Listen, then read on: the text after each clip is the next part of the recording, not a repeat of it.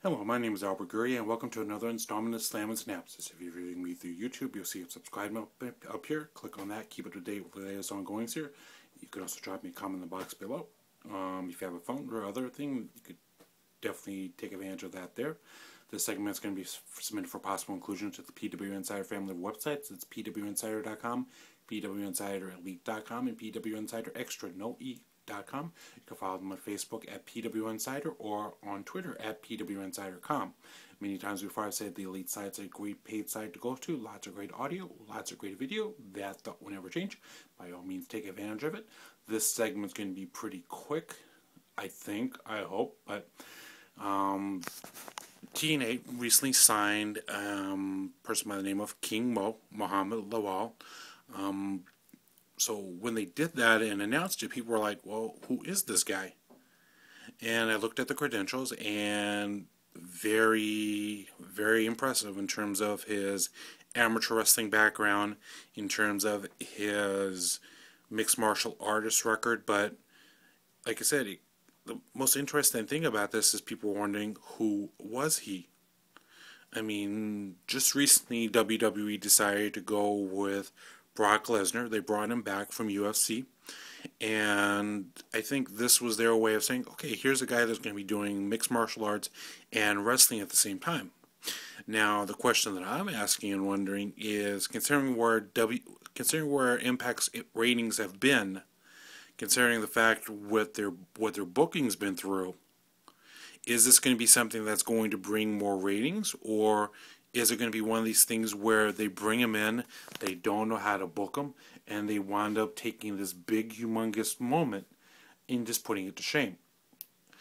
Um, if if you're going to bring this guy in, you have to make sure that every other duck in a, is in a row because people are going to all of a sudden be paying attention to you.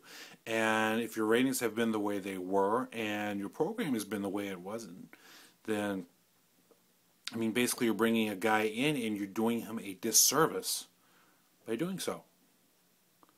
So yeah, I'm kind of curious to see if this will make them see things in a different light, probably book things a little bit more sensibly, or if this is just going to be one of those um, big major stars that you bring in for a month or two and then get rid of them, and it really has added nothing to the product. So, like I said, this guy has got a lot of credentials on his side. So it's so it'll be interesting to see where TNA or Impact Wrestling, I should say, takes them. So, like I said, the days, months, and years to come show what it's about.